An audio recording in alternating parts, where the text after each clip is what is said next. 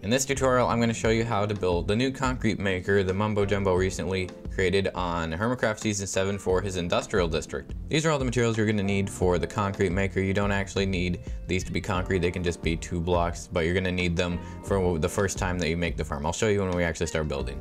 To run this farm, you're going to come over here and flick that lever and it'll start the TNT duping, it'll wait it for a second for it to prime and then it'll drop it and you can come over here and just hold down right click and it goes as fast as it can hold down right click. So it never will back up. I've tested this for a while and it does not back up. You're good to just sit here holding down right click and eventually it'll start to go all the way to this fourth smart piston. It looks like it's only on the third smart piston at the moment.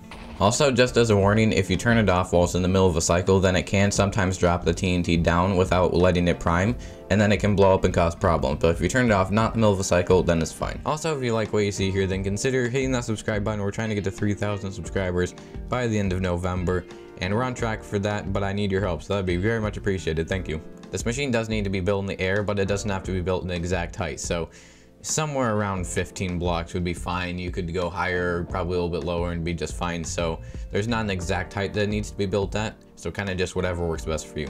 As long as it's in the air. You're gonna start with two blocks like that, then you're gonna go up and have a slab, and then you're gonna put some dust on those blocks, and then you're gonna get a redstone torch there, and you're gonna go up with a block right here, then you're gonna get a normal piston, and you're gonna also get a sticky piston, and there's a normal piston right here that's gonna face straight up, and then the sticky piston that faces straight down there. Then you're gonna place redstone up there, and now we have a smart piston like that.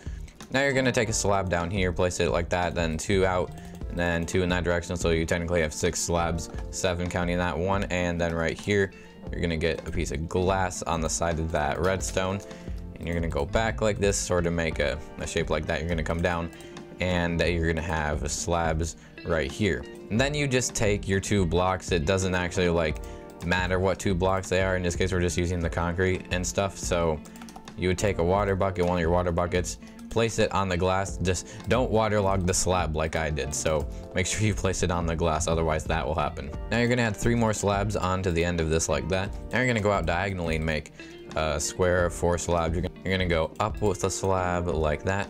You're gonna place a redstone on all of that. And then you're gonna go, let's see, up again with slabs, another four slabs. Redstone here like this. Then you're gonna take two target blocks like that. You're gonna have two sticky pistons facing up and two normal pistons facing downward. And then we're gonna build the same exact thing, but only a block to the side with a uh, block a gap like this. So just repeat the same process.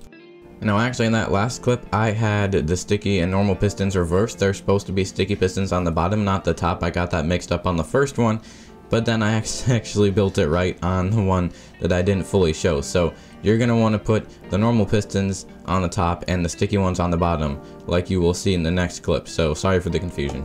Now you're going to go two blocks out here and leave block of gap in the middle there and you're going to take comparators, you're going to place four of them facing in that direction, then you're going to get four furnaces, you're going to have a furnace off of each one of these comparators. Now you're going to take your junk blocks and you're going to want to place in 42 in every single one of these furnaces, specifically 42. It has to be 42. It doesn't really matter what they are, they just have to be 42 items in each one of these furnaces.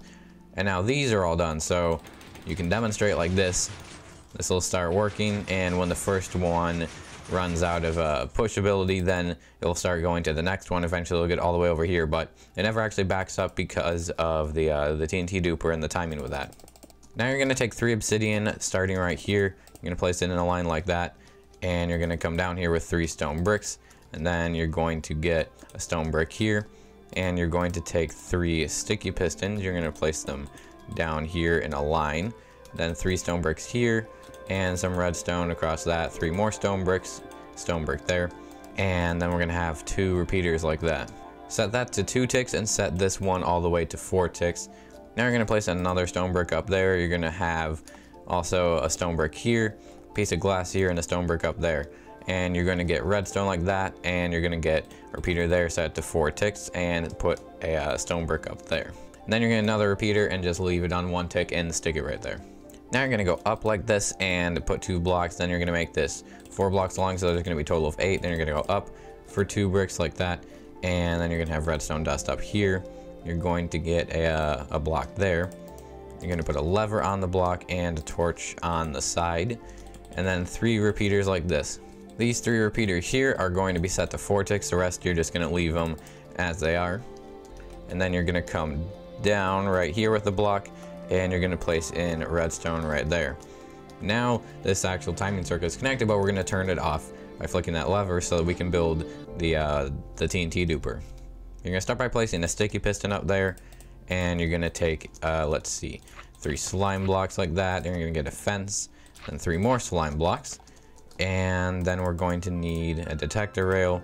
Detector rail is gonna go there. We're gonna get TNT down there and we're going to get a dead, I'm missing one of the dead coral fans. It doesn't have to be a specific one, just a dead coral fan. Then we're gonna place the minecart up there. So you're gonna come two blocks out from this area here where the blocks go and you're gonna go all the way down to the ground like that. You're gonna put three more blocks on that line and then you're going to add additional 10 here. So it's technically nine wide. So let's see, four, five, six, seven, eight, nine, 10.